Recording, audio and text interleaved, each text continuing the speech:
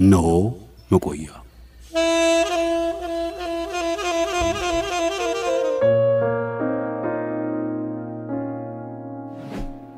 መሐመድ አልዘዋሪን ማን ገደለው?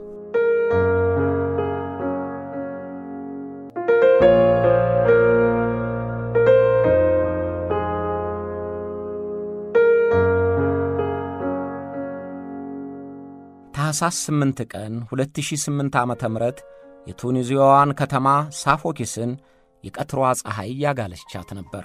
ነዋሪዎቿ ከሥራ ወደ ቤታቸው የሚመለሱበት የበረታቸዋን ፀሐይ የሚጠለሉበት ጊዜ ስለነበረ ግርግር አልበዛባትም። የመኖሪያ አካባቢዎች ተረጋግተው ጸጥታቸውን በሚያጣጥሙበት በዚያ ወቅት ከቀኑ ስምንት ሰዓት ግድም ለልዩ ተልኮ የሚንቀሳቀሱ የመሐመድ አልዘዋሪን መኖሪያ እያንዣበቡበት ነበር።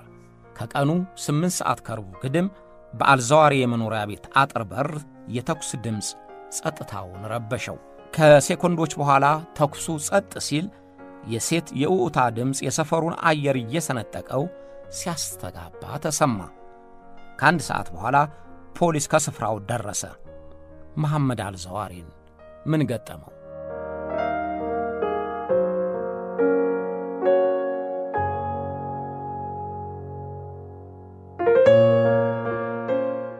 የ49 ዓመቱ መሐመድ አልዘዋሪ ቱኒዚያዊ ነው።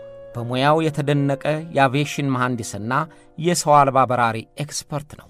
በዚያን ጊዜም ተቋርጦ የነበረውን የዩኒቨርሲቲ የምህንድስና ትምህርቱን እየተማረ የሙያ ልምዱን ለተማሪዎች እያካፈለ የድሮን ክበብ አቋቁሞ ዩኒቨርሲቲውን እያደራጀ ነበር። ያን ዕለትም ጥቁሯን መኪናውን እየነዳ ከሥራ ቦታው ወደ ቤቱ እየገባ ነበር።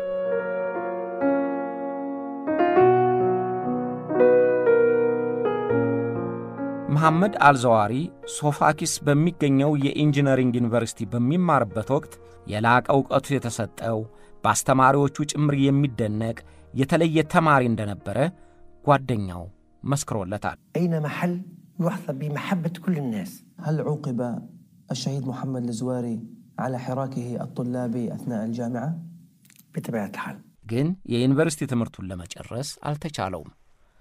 በጊዜው የቤናሊን መንግሥት ይቃወም በነበረው የተማሪዎች እንቅስቃሴ ቀዳሚ ተሳታፊ ስለነበር ተከታታይ በዛበት። ስለዚህ መደበቅ ስለነበረበት የዩኒቨርሲቲ ትምህርቱን አቋረጠ። አልዘዋሪ በቱኒዚያ መኖር እንደማይችል ሲረዳ ለመሰደድ ተነሣ። በባሕሪው ተግባቢና ሰዎች የሚወዱት ነበርና ሰዎችን ጠያይቆ ሙራድ ከተባለ ሰው ፓስፖርት ገዛ። የፓስፖርቱ ባለቤት ሙራድ ወፍራም ነበር። በስጋት የሚኖረው አልዘዋሪ ደግሞ ከሲታ ነው። ስለዚህ ጉንጩ ባፈረጠመው ሙራድ ፓስፖርት ለማለፍ ስለሚያስቸግረው ዘዴ መፈለግ ነበረበት። ልብስ ደራርቦ ለበሰ። ጉንጩን ጥጥ ጎሰጎሰበትና የሊቢያ ድንበር ጠባቂዎች ሳይነቁበት አለፋቸው። ከሊቢያ አልፎ ሱዳን ደርሶ የሱዳን ዜግነትን አገኘ። ስሙም ሙራድ ሆኖ ቀረ። በወጣትነቱ የማያውቀው ሰው ስሙ አልዘዋሪ መሆኑን አያውቅም ነበር። ሚስቱ እንኳን ስሙ አልዘዋሪ መሆኑን ያወቅኩት ከተጋባን ሁለት ዓመታት በኋላ ነው ትላለች። ካወቀችውም ወዲህ እስካሁን ድረስ የምትጠራው ሙራድ እያለች ነው። آه، بعد عام ونص من الزواج ما نعرف انه اسمه محمد الا بعد عام ونص ضلت نادي مراد لحد الان انا بنادي مراد لحد هاي اللحظه حتى بعد ما استشهد الله يرحمه انا ال- المراد مات مراد مات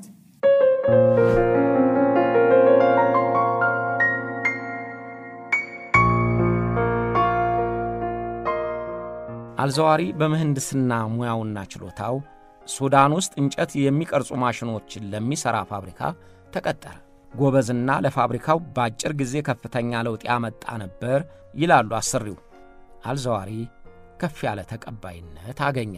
ፋብሪካው ለሱዳን መከላከያ ሲሸጥም በስምምነቱ ከሰፈሩት ግዴታዎች አንደኛው በሙራድ ስም የሚታወቀው አልዘዋሪ ሥራውን እንደሚቀጥል የሚያስገድድ ነበር። هو احنا بعد ما طلعنا من السودان اه، تركنا المصنع اشترته اشترته جهه اه، سودانيه اللي هي التصنيع الحربي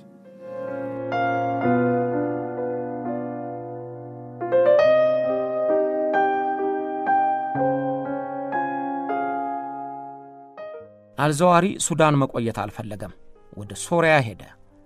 በሶርያ በሚገኘው የሐማስ ቡድን ተመለመለና በአልቃሲም ብርጌድ ስር ውስጥ ሆኖ በሚንቀሳቀሰው የድሮን unit በ1998 ዓ ም ተመደበ። የፍልስጤማውያን ጥያቄ በቱኒዚያውያን ዘንድ እንደ ራሳቸው አድርገው የሚቆጥሩት ጥያቄ ነው። በአንድ ወቅት የፍልስጤም ነፃ አውጪ ድርጅት ቢሮ ቱኒስ ነበር። አልዘዋሪም የፍልስጤማውያንን ጥያቄ በብርቱ የሚደግፍ ነበርና ሐማስን ተቀላቀለ። አልዘዋሪ በነበረው የአቪዬሽን ዕውቀት በሐማሱ ቡድን የተጀመረውን ውጥን ወደ ተጨባጭ እድገት ከፍ አደረገው። የእሱ ከቡድኑ ጋር መቀላቀል ከሰማይ እንደወረደ ስጦታ የሚጠበቅ ነበር ይላል የአልቃሲም ብርጌድ የድሮን ዩኒት አባል አቡ መሐመድ። أين محل يحظى بمحبة كل الناس هل عوقب الشهيد محمد الزواري على حراكه الطلابي أثناء الجامعة؟ بطبيعة الحال محمد زويري በድሮን ሳይንስ ያለውን ሰፊ ዕውቀት የተረዱት የአልቃሲም ብርጌድ ኃላፊዎች ሳይውሉ ሳያድሩ ሱፐርቫይዘር አደረጉት።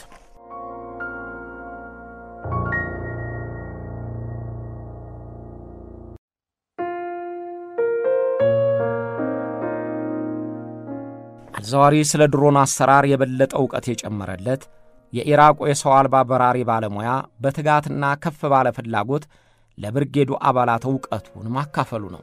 የበለጠ ሥልጠናም ለማግኘት ወደ ኢራን ተልኮ ዕውቀቱን አዳብሯል። የኢራን የድሮን ባለሙያዎች ለሐማሱ አልቃሲም የድሮን ቡድን ያላቸውን ዕውቀት ለማካፈል ሙሉ ፈቃደኛ እንደመሆናቸው ለአልዘዋሪ ጥሩ አጋጣሚ ሆነለት። የኢራን የድሮን ኤክስፐርቶች በበኩላቸው አልዘዋሪ በድሮን አተገባበር ላይ ያለው ዕውቀት እጅግ አስደንቋቸዋል። ለሥልጠና የሄደው አልዘዋሪ አሰልጣኝ እስኪመስል ድረስ የነበረው ዕውቀትና ያገኘውን አዲስ ዕውቀት ተንትኖና አስፋፍቶ ለመሥራት ያለው አቅም አስደምሟቸዋል። አልዘዋሪና ቡድኑ በኢራን በቆዩበት ስድስት ወራት ውስጥ በኢራን ፋብሪካ ሰላሳ የሰው አልባ በራሪዎችን ሠሩ።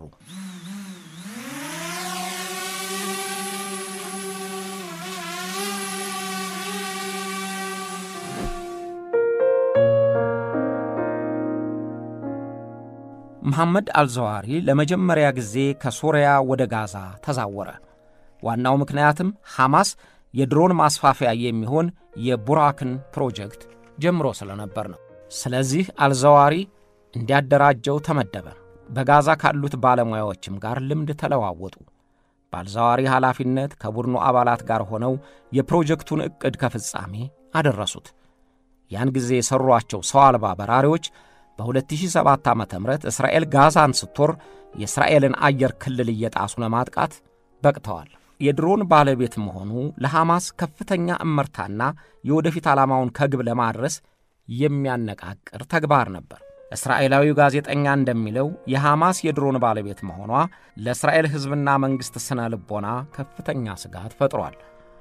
እስራኤሎች ከሰማይ ቦምብ የሚወረውርባቸው ኃይል መኖሩን መረዳታቸው በስጋት እንዲወድቁ አድርጓቸዋል። ለእስራኤል መንግሥትም የሐማስን የድሮን ባለቤትነት የሚያስቀርበትን መንገድ ትኩረት እንዲሰጠው ማስጠንቀቂያ ደወል ሆኖለታል። የሐማስ የድሮን ሥራ መሳካት ለአልዘዋሪም ገናን ስም አስገኝቶለታል። የሐማስ የድሮን አባት ተብሎ የሚታወቅ አሁንም በድሮናቸው ክንፍ ላይ ፎቶውን የሚለጥፉለት ሳይንቲስት ሆኗል። በጋዛ ዐሥር ዓመታት ቆይታው ሐማስን ሮኬትና ቦምብ በሚሸከሙ ሰው አልባ በራሪ ስላስታጠቀው ክብሩ ከፍ ያለ ሆነ።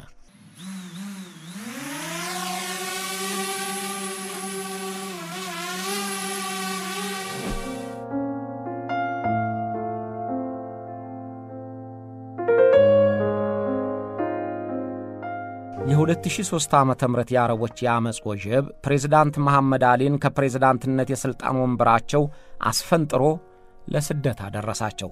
ያን ጊዜ መሐመድ አልዘዋሪ ከ20 ዓመታት ስደት በኋላ ወደ ትውልድ አገሩ ቱኒዚያ ተመለሰ።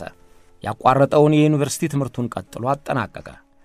በሐማስ አባልነቱም የሚፈለግበትን አገልግሎት መስጠቱን አላቋረጠም። በድብቅ በተሠራው መተላለፊያ ዋሻ በኩልም ወደ ጋዛ እየሄደ የሚጠበቅበትን ግዳጅ ሲፈጽም ቆይቷል። በእርግጥ አልዘዋሪ ለሐማስ የሚሰጠው አገልግሎት በሌሎች ዘንድ የታወቀ አልነበረም። በተፈጥሮ ምስጢራዊ የሆነው አልዘዋሪ ምስጢራዊ ተልእኮውን በምስጢር ይዞት ስለነበረ ሚስቱ እንኳን ምን እንደሚሠራ በጭራሽ አታውቅም። ምስጢራዊና የተለየ ሰው ነው። ሥራ ይሄዳል፣ ወደ ቤቱ ይመለሳል። አንዳንድ ጊዜ ለሥራ ለአቪዬሽን ዕቃ ለመግዛት ይልና ይሄዳል። ከዚህ ውጪ የምናውቀው ነገር አልነበረም ትላለች ባለቤቱ ማጅዳ ሳላህ።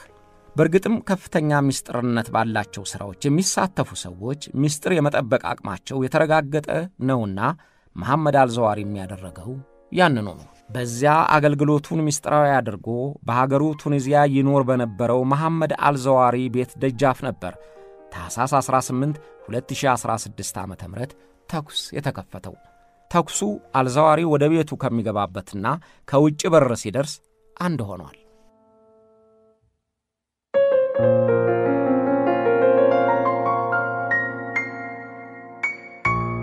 በቪየና ሦስት ሰዎች ተገናኝተዋል።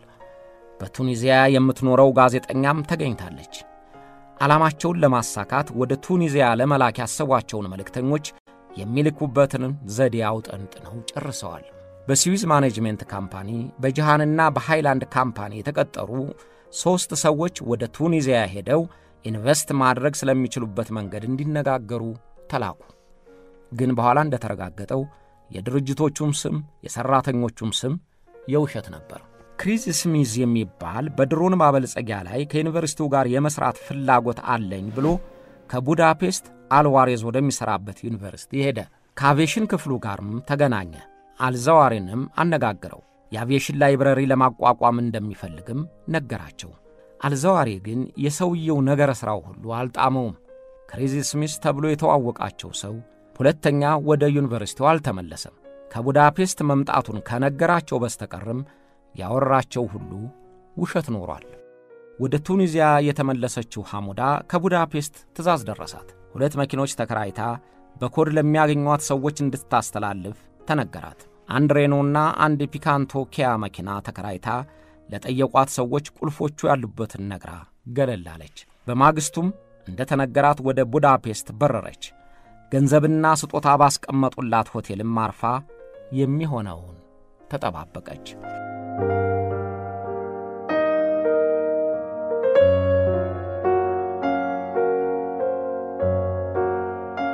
ታኅሳስ 18 ከረፋዱ አራት ሰዓት ግድም ሁለቱ የኪራይ መኪኖች ወደ አልዘዋሪ መኖሪያ መንገድ አመሩ።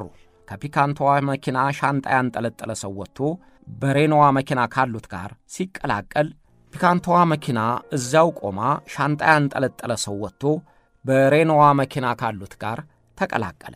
አምስት ሰዓት ግድም ሲሆን ሦስት ሰዎች ከአልዘዋሪ ቤት አንድ ኪሎ ሜትር ርቀት ላይ ባለው የቲዩን ሬስቶራንት ተገኝተው ትኩስ ነገር አዘው ጠጡ።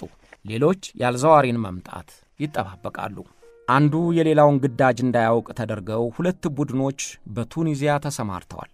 አንደኛው ሐሙዳ ያለችበት ቡድን ሲሆን ተግባሩ አልዘዋሪ በሚሄድበትን ቦታ ሁሉ መከታተል ነው። ሁለተኛው የሳም አሊኒ ቡድን ሲሆን ተልኮው ሲም ካርድ መግዛት፣ ለአልዘዋሪ መኖሪያ ቅርብ የሆነ ቤት መከራየት ነበር።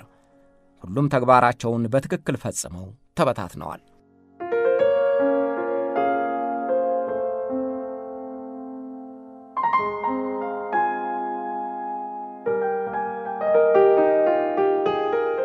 ከቀኑ ስምንት ሰዓት ግድም ሳይንቲስቱ መሐመድ አልዘዋሪ መኪናውን እያሽከረከረ ወደ ቤቱ እየተመለሰ ነበር። ሬኖዋ መኪና ከኋላ ተከተለችው። ከቤቱ የውጭ አጥር በር ላይ ሲደርስ ሁለት ሰዎች ከሬኖዋ መኪና ወርደው ድምፅ በሌለው የጦር መሣሪያ የጥይት መዓት አርከፈከፉበት። ሀያ ጥይቶች በአልዘዋሪና በመኪናው ላይ አረፉ። የመኪናውን መሪ ይዞ የነበረው አልዘዋሪ ተመታ። ከወጥ ቤት የነበረችው ሚስቱ ማጃድ ሳልህ የሦስት ጥይት ተኩስ ስትሰማ ደንግጣ የውጭውን በር ከፈተችው።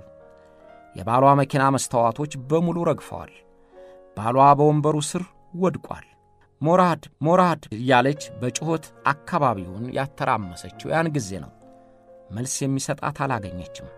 መሐመድ አልዘዋሪ እስከ መጨረሻው አሸልቧል። የሰው አልባ በራሪ ኤክስፐርቱ የነበረው ሐማስን ድሮን እንዲታጠቅ ያደረገው መሐመድ አልዘዋሪ ተገደለ። ፖሊስ ከአንድ ሰዓት በኋላ ደርሶ ምርመራውን ጀመረ።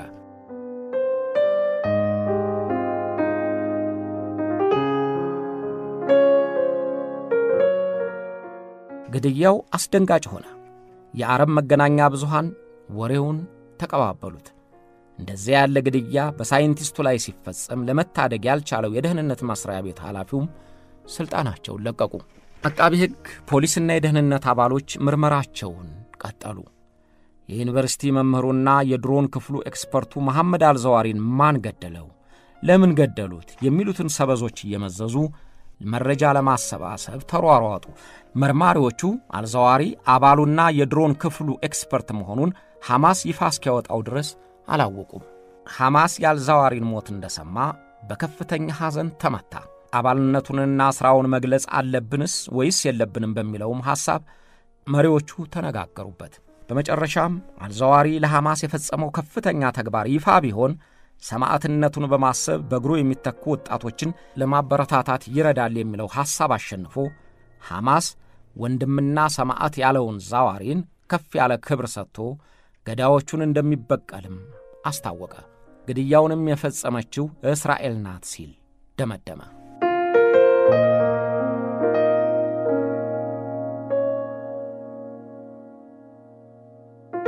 የቱኒዚያ የጸጥታ ኃይሎች ከግድያው ጀርባ ማን እንዳለበት የፈጸሙትስ ማን እንደሆኑ እርግጡን ለማግኘት ምርመራቸውን ቀጥለዋል። ሐሙዳ ከቡዳፔስት ስትመለስ ታሰረች። ሌሎች ዘጠኝ የሚሆኑ ቱኒዚያዎችም ተጠርጥረው ታስረዋል። የውጭ ሀገር ዜጎች በግድያው መሳተፋቸውም ተደርሶበታል። ግድያውን የፈጸሙትና ፒካንቶውን መኪና ይዘው የተሰወሩት ግን የት እንደገቡ ሊታወቅ አልቻለም። ሁለቱ የኪራይ መኪኖች ግድያው በተፈጸመበት ዕለት በቅርብ ርቀት በቆሙበት ተገኝተዋል።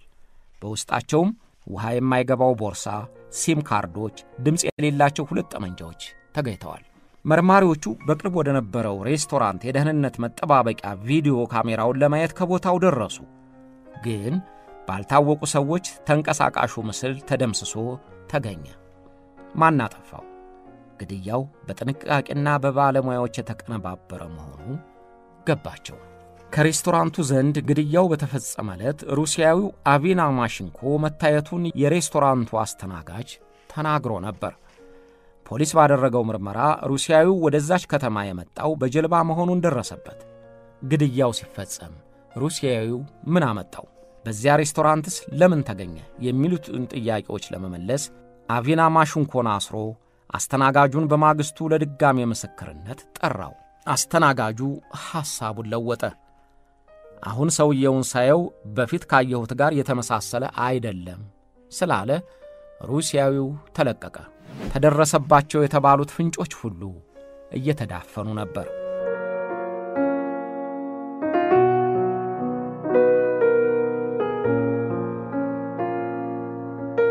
ገዳዮቹ የተባሉት የውጭ ሀገር ሰዎች የት ገቡ? የማን ዜጋ ናቸው? የሚለውን ለማወቅ ፍንጭ ይሰጣሉ ተብለው የሚገመቱት ሁሉ በፍርድ ቤት ትዕዛዝ ይለቀቃሉ። በጉዳዩ አሉበት የተባሉት ቱኒዚያውያኖችም ቢሆን በሐሰተኛ ስምና አድራሻ ስለሚተዋወቋቸውና ስለማይቀርቧቸውም ማን እንደሆኑ የት እንደሄዱ የሚያውቁ ሆነው አልተገኙም። ጥርጣሬው ያረፈባት እስራኤልም ግልጽ ያልሆነ መግለጫ ሰጥታ ዝም አለች። የጊዜው የመከላከያ ሚኒስትር ሽሎ ያ ተደ ሹኸር ሸሎም የድዋ ሎያ ሞሐማድ ለፕራስ ኖቤል ሸሎም ያ ሰው የተገደለው ቱኒዚያ ከሆነ የሰላም ሰው አልነበረም ማለት ነው። ለኖቤል የሰላም ሽልማት የሚቀርብም አልነበረም ማለት ነው። እስራኤል ደህንነቷን እንዴት አድርጋ መጠበቅ እንዳለባት ታውቃለች የሚል እጅ እግር የሌለው የስላቅ መግለጫቸው ግድያውን ያቀነባበረውን አረጋግጦ ለመናገር አላስቻለም።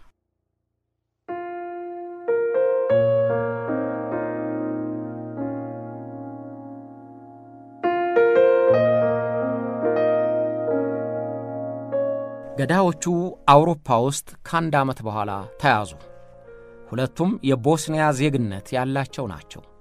ሐማስ ተጠርጣሪዎቹ የሌላ ሀገር ፓስፖርት የያዙ የሞሳድ ወኪል ናቸው ይላል። ተጠርጣሪዎቹ ግን ቃል አልሰጡም።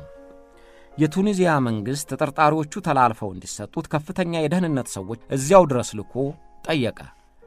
የክሮሽያ ከፍተኛ ፍርድ ቤትም በግድያው የተጠረጠረውን ዓለም ካምዶዚክን ተላልፎ እንዲሰጥ ወሰነ።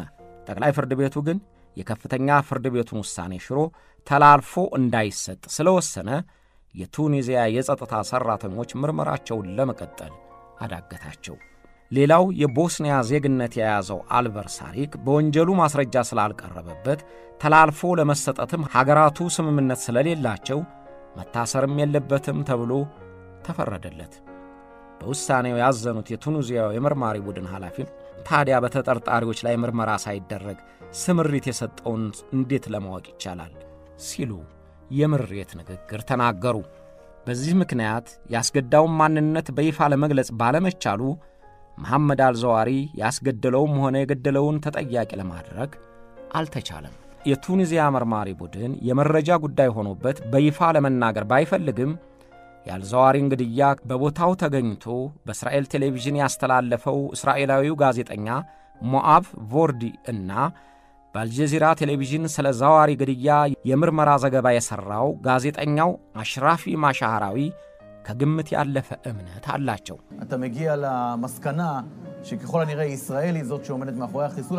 אתה מגיע למסקנה שככל הנראה ישראל היא זאת שעומדת מאחורי החיסול הזה, פשוט כי אף גוף אחר או לא מעוניין או לא יכול לבצע חיסול שכזה על אדמת טוניסיה. ቱኒዚያ ድረስ ገዳይ ቡድን ልካ ፕሮፌሽናል ግድያ ለማስፈጸም የምትችለውም ምክንያትም ያላት እስራኤል ብቻ ናት። የሐማስ ድሮን መታጠቅ የሚያሳስባትም የሚያናድዳትም እስራኤል ብቻ ናት። ጠላቶቼ የምትላቸውን ሳይንቲስቶችና የፖለቲካ መሪዎች በያሉበት እያደነች ለመግደል ልምድ ያላትም እስራኤል ናት። ስለዚህ መሐመድ አልዘዋሪን ያስገደለው የእስራኤሉ ሞሳድ ነው ብለው ሁለቱ ጋዜጠኞች ያምናሉ። ነገሩ የሰውየው አፍ ነቶ የበሶ ስልቻ አፉ ተፈቶ ከተገኘ ባይበላም እንደ በላ ይቆጠራል እንደሚባለው አይነት መሆኑ ነው።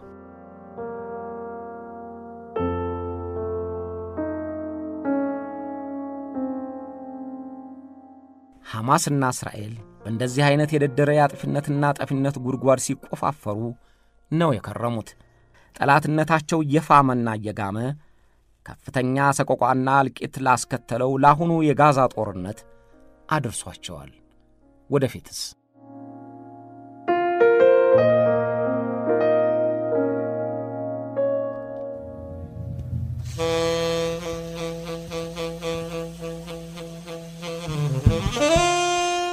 አብራችሁን ስለቆያችሁ እናመሰግናለን።